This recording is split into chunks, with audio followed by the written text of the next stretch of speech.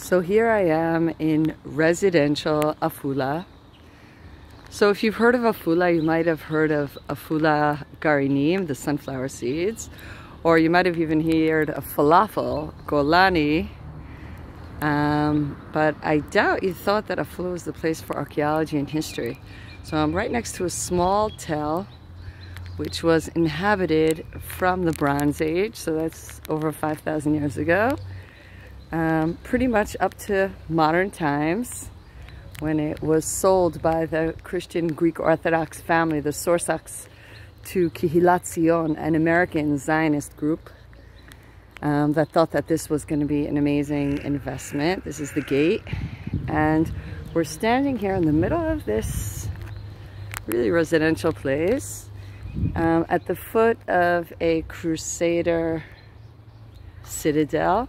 And what's cool about this Crusader Citadel is that the Crusaders used sarcophagi. Okay, that's a box, kind of like a coffin that they would put the body in Roman periods. And they used them to support their wall. So we know that there was a Roman period here. And this same activity of putting sarcophagus in Crusader castles we know from Tsipori. So here it is. This is the craziest thing here. You see all the decorations. This is from the Roman period. So I think this is easily 15 to 1500 to 2000 years ago. Get a bit of this wall. And what's crazy is that just across here is a public park. So one of the interesting things is who has more rights? Is it the archaeology, the history, or is it the people of today? So we see all over Israel a way to try to live with your antiquities. Not live in a museum, but live in a place where your kids could play.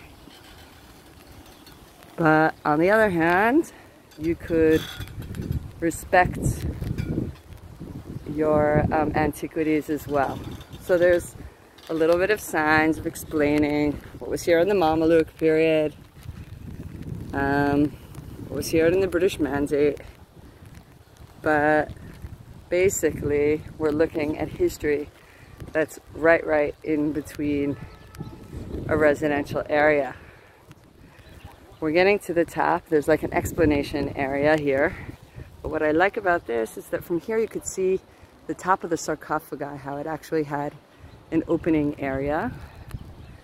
Um, this is the explaining, explanation area. And here they had found also a mosaic. Now, I'm not sure if this mosaic is the original. I hope not, because it's been destroyed a little bit over here. But besides being super interesting, I think the question of living with history preserving history, but continuing to live modern lives with modern needs is a super interesting way to go around to Israel and see just like the Crusaders took these sarcophagi, dumped the bones and used them to build a wall, what do Israelis do it? They take the sarcophagus, take the wall, and use it for a public park. Um, come see for yourself.